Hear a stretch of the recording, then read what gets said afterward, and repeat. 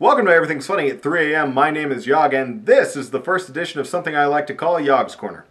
Well, there's a chill in the air. Last year's candy corn has been dusted off and put back on the store shelf, and everything's beginning to taste a little bit like pumpkin. What does that mean? It's Halloween! Kids are dressing up like their favorite ghouls and ghosts, women are dressing up the way I wish they would dress all year long, and lazy dateless 20 somethings are spending their nights watching bad 80s slasher flicks and playing horror games. Now, this season, YouTube has been inundated with a ton of playthroughs for great horror games like Outlast and Amnesia Dark Descent, but I thought it would be fun to tell people about one of my favorite horror games growing up, Uninvited for the NES.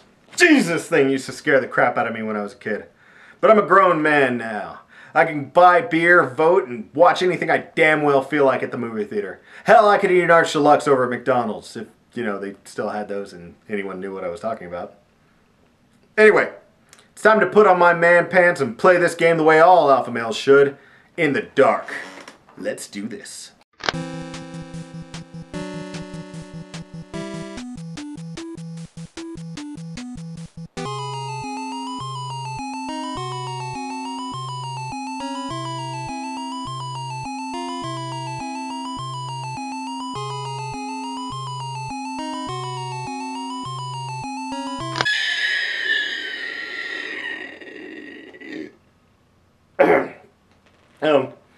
Well, maybe, well, maybe nostalgia is affecting me a little more than it should. Let's, uh, let's just keep the lights on for a little bit longer as we get a little deeper into the game. Uninvited is a classic point-and-click adventure game where you play an unnamed guy, at least I think you're a guy, who wakes up after a car crash to find his big sister missing. Narrowly missing out on becoming a faceless protagonist flambe when your car blows up behind you, you find yourself outside a creepy mansion, and somehow jump to the conclusion that your sister has gone inside. Because, you know, that makes sense. After looking around and learning some magic spells, you walk into another room and, oh hey! There's someone else here! Maybe she can help you find your sister. Excuse me, miss, could you have- Oh, holy Jesus! Damn it, game! I'm gonna need something else to help me beat this. But what?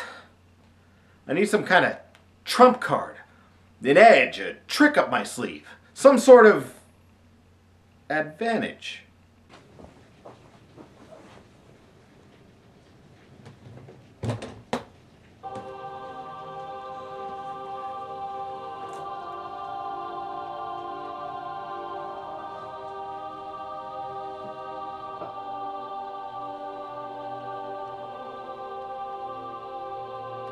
Wait.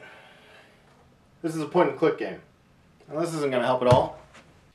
Even if you have some kind of trick up your sleeve, you're going to spend most of this game dying. You see, this house is actually a battleground between two wizards, the evil Dracan, and another wizard known only as the Master. When the battle was over and the dust finally settled, the Master was dead, Dracan was frozen in a giant block of ice, and the house had pretty much turned into the mystical equivalent of Chernobyl. Now the mansion is filled with all manner of ghoulies, ghosties, and long-leggedy beasties that want to kill you in horrible, horrible ways. At least, uh, most of them do. Some of them...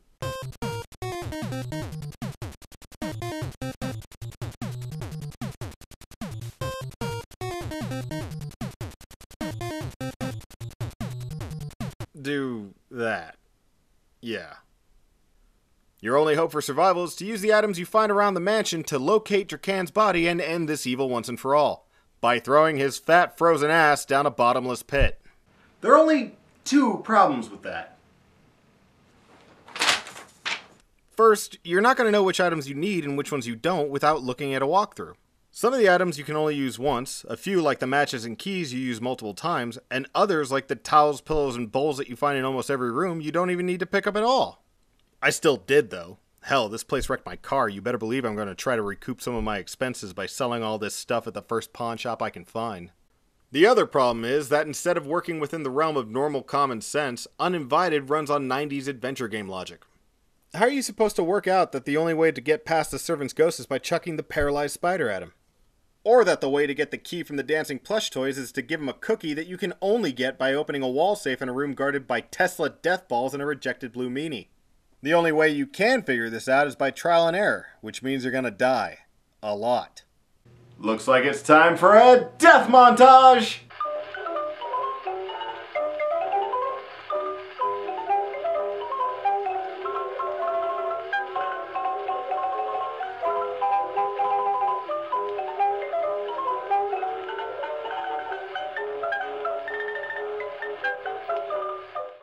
To its credit, the game never feels like it's being unfair.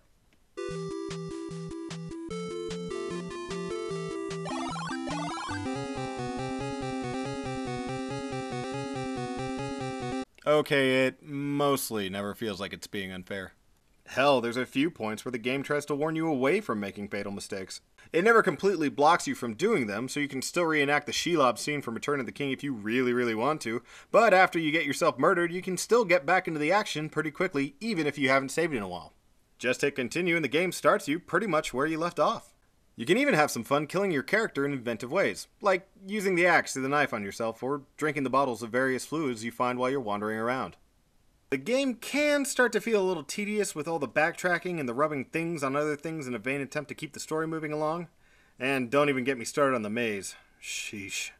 But you can keep yourself amused by reading the detailed flavor text that almost every object in the game has, or by enjoying what is, in my opinion, one of the best NES soundtracks out there.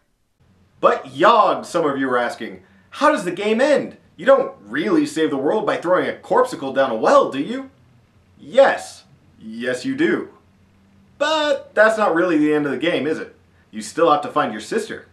After melting the giant underground glacier and heaving Dracan's body into the nearby abyss, you hear what sounds like your sister screaming from upstairs and you rush to go save her.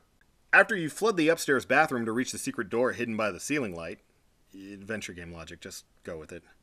You find your sister slumped against the wall, grinning and making weird noises. Looks like five fingers to the face is the only way to solve this puzzle. No, seriously, the only thing that you can do here is sucker punch your sister. Which ends up freeing her from a demonic entity now wearing her like a cheap suit. Splash the demon with some holy water that you found, and you win the game. Then, for some reason, you're treated to this weird winking Polaroid of your sister with a heart next to it. Huh. Well, maybe the game takes place in Alabama? All in all, Uninvited is a solidly fun adventure game and still one of my favorites for the NES. It can't stand up against newer horror games, but it still has a few scares, and I can think of worse ways to spend an afternoon. Well, that's all for me on this All Hallows Eve. Like, comment, and subscribe if you enjoyed the show, and be sure to join me on the next Yawg's Corner here at Everything's Funny at 3 a.m. Until next time.